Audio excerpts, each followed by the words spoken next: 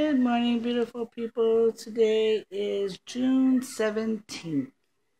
It's my granddaughter Amilia's third birthday, and we'll be going to the park today.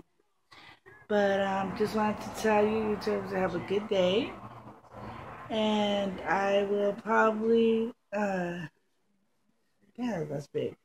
I'm gonna try to do some videos of um, the family. Let's see nobody knows about our YouTube channel yet. I'm just trying to get more videos up and so and then I'll introduce um, everybody to this YouTube channel if you don't already know about it.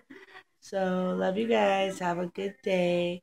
And I'll be posting up some pictures, uh, some videos also from yesterday when the girls, my granddaughters were here getting wet. So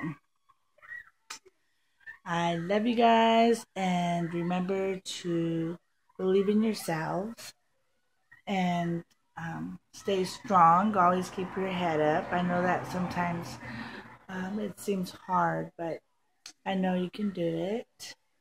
So, love you guys. Have a good day, and I will be posting the videos. Bye.